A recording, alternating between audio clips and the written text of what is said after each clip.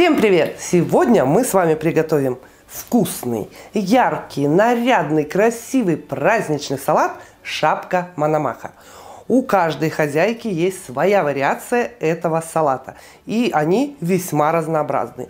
Кто-то предпочитает добавлять чернослив, кто-то яблоки, кто-то вообще не добавляет ни то, ни другое. А, одни варят морковь для салата, другие предпочитают сырую. В общем, вариаций масса. Я вам хочу показать свой вариант этого яркого, нарядного, праздничного салата. Ну а сейчас не скупимся на лайки, проверяем подписку и погнали!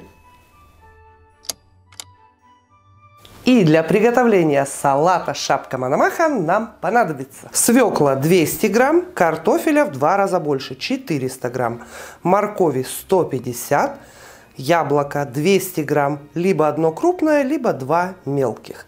Мясо можете использовать любое. Курицу, баранину, индейку. У меня говядина 300 грамм. Грецкий орех 50 грамм. 4 яйца. Соли совсем немного, 3-5 грамм. Майонеза 100-150 грамм. Чеснок от 10 до 20 грамм. Сыр любой твердый понадобится 100-150 грамм.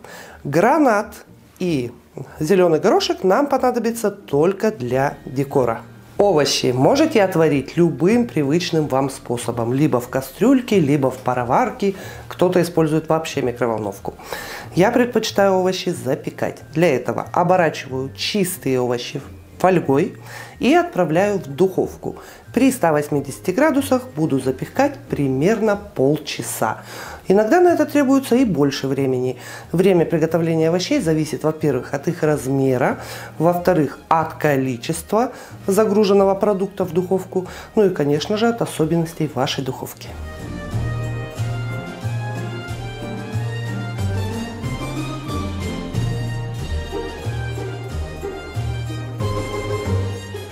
Вслед за овощами отправляем грецкий орех.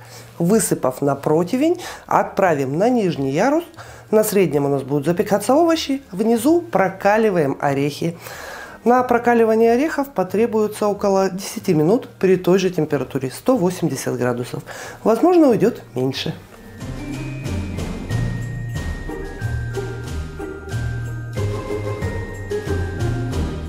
Орешки достали, оставляем их остывать. Мы же тем временем мясо заливаем горячей водой и отправляем вариться до готовности. На это потребуется около 40 минут. Варим при несильном кипении, чтобы мясо было более нежным.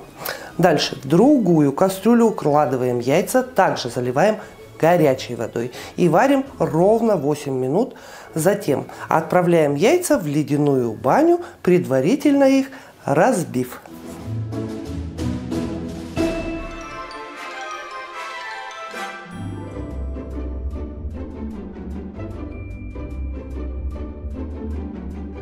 Ну а пока яйца варятся, максимально очищаем грецкий орех, чтобы предотвратить появление горечи в салате. Одно яйцо у меня всплыло, поэтому добавляю еще одно, а это наоборот, вынимаю. Если яйцо всплыло, это говорит о том, что, скорее всего, оно испорчено.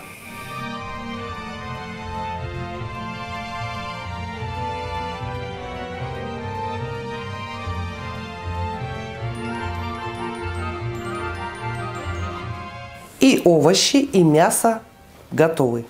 Проверяем готовность овощей зубочисткой. Мясо оставляем остывать прямо в бульоне, а овощи наоборот раскрываем. Так мясо получится сочнее, ну а овощи наоборот. Лишняя влага быстро покинет.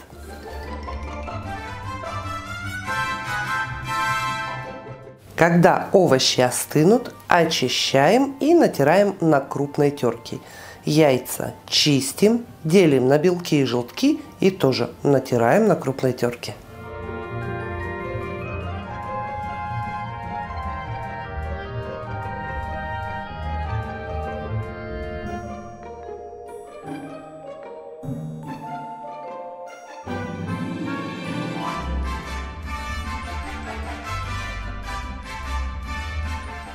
Теперь измельчаем орех, Мясо нарезаем либо кубиком, либо тонкой соломкой поперек волокон. Ну а чеснок почистим, натрем на мелкой терке и смешаем с майонезом.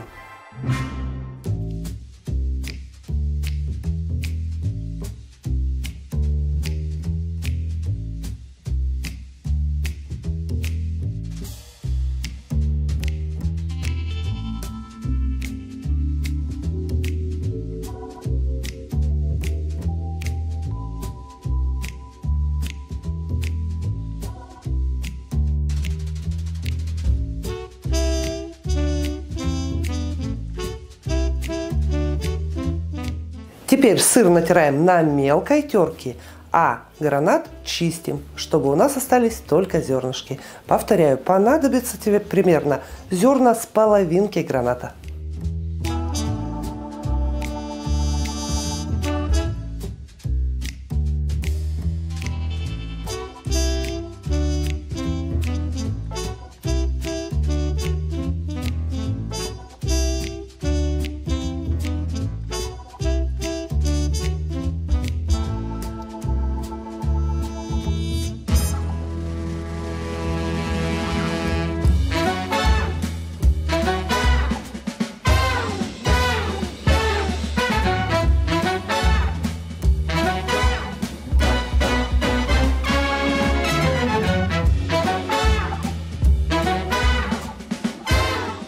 Все ингредиенты подготовлены, кроме яблока. Его мы будем мыть, чистить и натирать уже непосредственно в салат.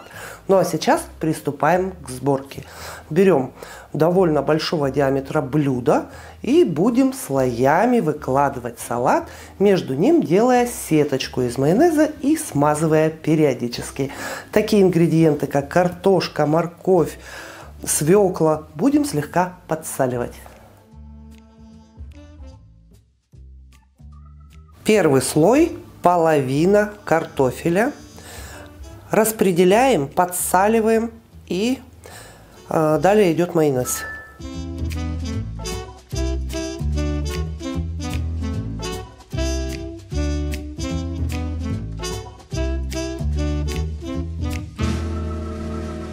Следующий слой – половина моркови. Тоже чуть-чуть подсаливаем и сверху майонезная сетка. Третий слой то же самое. Половина свеклы подсаливаем майонезная сетка. Теперь выкладываем половину примерно грецкого ореха, даже две трети. Распределяем, слегка промазываем майонезом. А следующий слой у нас идет мясо, соль, майонезная сетка. Мясо берем также половину от всей заявленной массы.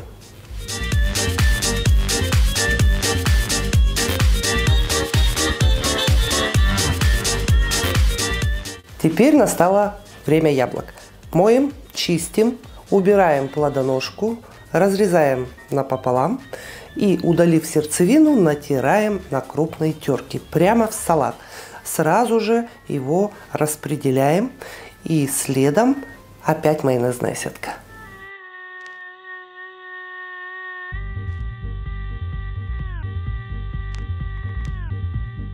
Натираем только одно яблоко, второе пойдет на второй мясной слой. Теперь идет вторая часть картофеля.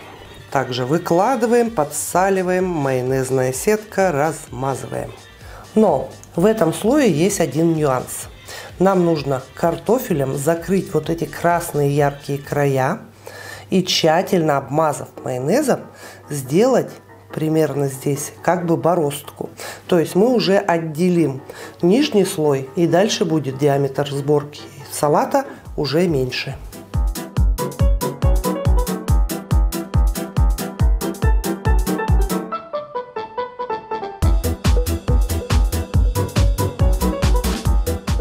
Следующий слой яичный белок. Он также полностью по всему периметру и по бокам идет.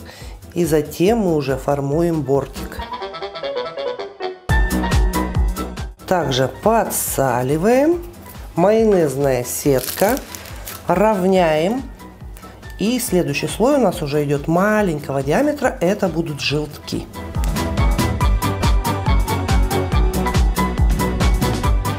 Половина желтка подсаливаем, майонезная сетка разравниваем. Следующий слой половина сыра. Его уже подсаливать не надо. Также майонезная сетка. И разравниваем.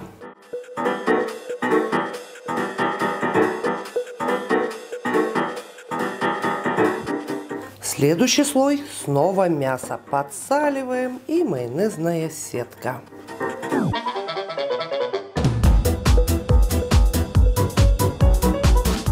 Теперь моем, чистим и натираем на крупной терке второе яблоко.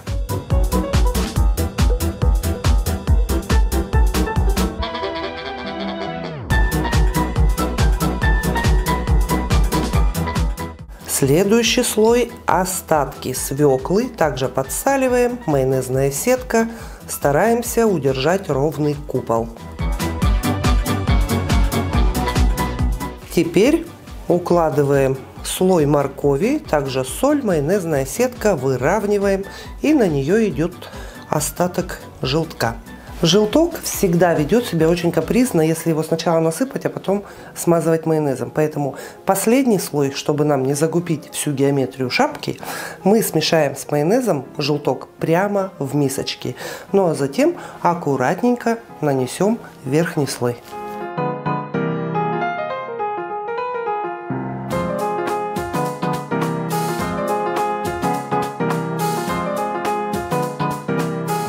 Теперь берем сыр и полностью всю шапку посыпаем сыром. То место, где мех у шапки, мы еще посыпаем и грецким орехом.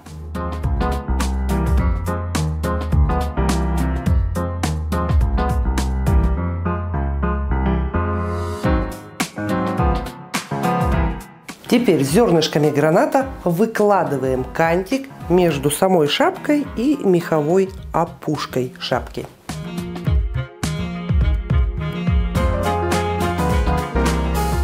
Из красного лука или обычного лука. Можно даже использовать яйцо или морковь. Делаем подобие короны.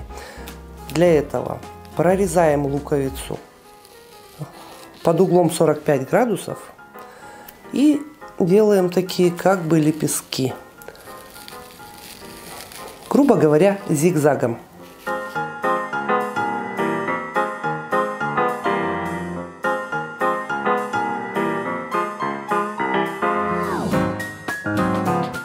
Разбираем луковочку, выбираем необходимый нам размер и венчаем нашу шапку вот такой короной, а затем наполняем ее остатками зернышек граната.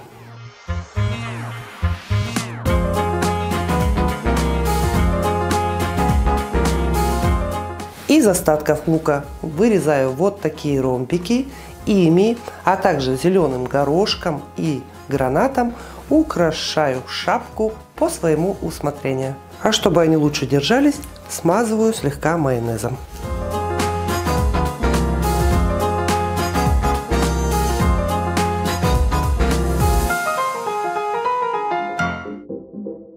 Не переживайте, что у вас останется много обрезков лука. Если расположить их в шахматном порядке, то у вас получится вот такая славная хризантемка, которой вы можете украсить другой салат. Или разделить их на отдельные звенья, и получится у вас вот такие крокусы. Тоже можно использовать в оформлении.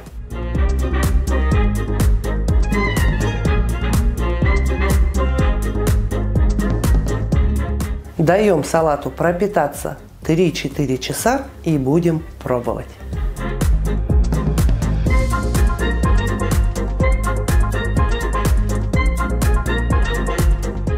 Салатик пропитался, настоялся, пробуем.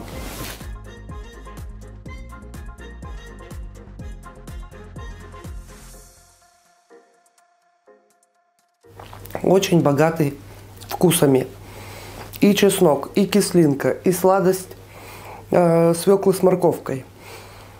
соленая помидорка, чувствуется вкус ореха. В общем, изобилие вкусов. Чувствуешь и сочетание, и все по отдельности. Причем здесь нам еще не попался желток. То есть каждый уровень салата раскрывает по-новому вкус. Но вообще салатик очень вкусный. Да, замороченный. Но для того и Новый год, чтобы хотя бы раз в год приготовить такой салатик. Вот такой красивый, эффектный, очень вкусный, способный стать украшением вашего праздничного стола салат шапка Мономаха мы с вами сегодня приготовили. Радуйте себя, угощайте и удивляйте гостей, а фотоотзывы присылайте мне по ссылкам, которые найдете в описании. С наступающим Новым Годом! До новых вкусных встреч! Пока-пока!